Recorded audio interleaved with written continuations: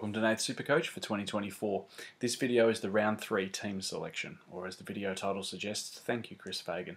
If you're new to the channel, please hit like and subscribe. Let's get stuck into it. Alright, so here's how my side's looking before trades. Now as the title of the video says, thank you Chris Fagan. Um, the decision to have Jarryd Lyons out has made my trades measurably easier this week. I was really umming and umming and ahhing, and I really didn't know what to do. Uh, tossing up a few ideas whether I don't trade at all, whether I use my first boost, whether I just use two, who do I trade at, do I get rid of Young, all sorts of things like that. So with the news that Jarryd Lyons is out, that has um, solidified my plans essentially. So what I'm thinking of doing is the following. I'm going to trade Sexton, who's on the bye. Now, ideally, he's still got a like a minus six break even, so he is going to make money.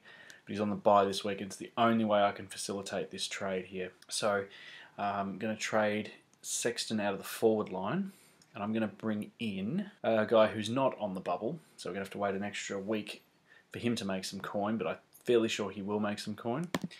And we're going to bring in Sam Darcy from the Bulldogs. Okay, so that's the first trade I'm going to do. Next, I'm going to trade out Lyons, who's not playing. I just don't have the patience to be holding Lyons. Who is he going to play this week? Is he going to use the sub? I, I just have no time for that.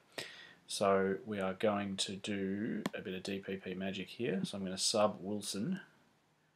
Uh, yeah, Wilson from the forward line up to the midfield there. And then we're going to trade in the flavour of the month, Tom Powell from North. Looks like his midfield role is there, so I'm going to complete those trades. Okay, so Sexton Lyons out for Darcy and Powell. One up, one down, essentially. Let's have a look at what the team looks like now. Once this loads give us a better picture of how we how we sit. All right.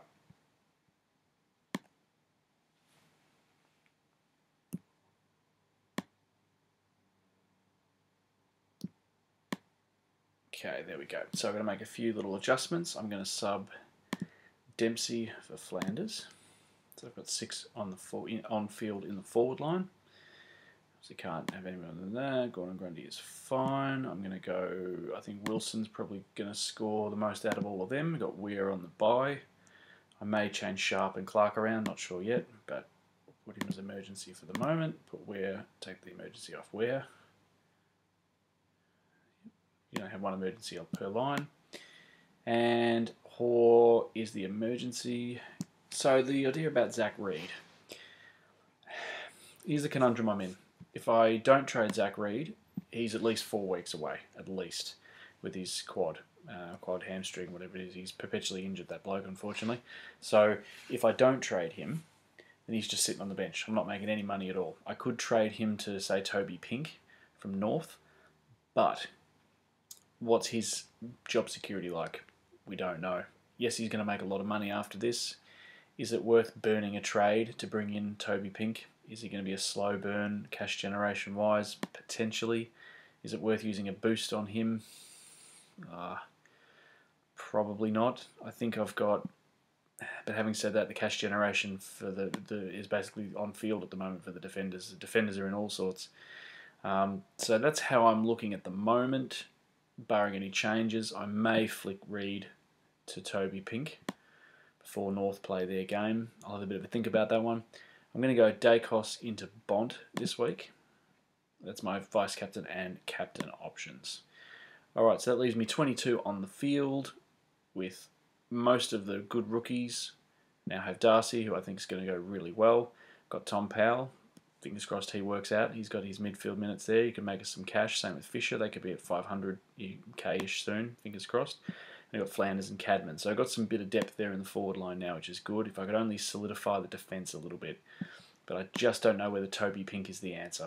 And I've got Sheezel, McKercher, Fisher and Powell now. So it's probably too many North players. So I think I might hold Reid. Um, worst case, I'll flick him to, to Toby Pink or someone uh, if another defensive rookie shows up. So that's pretty much how I'm sitting at the moment for round three.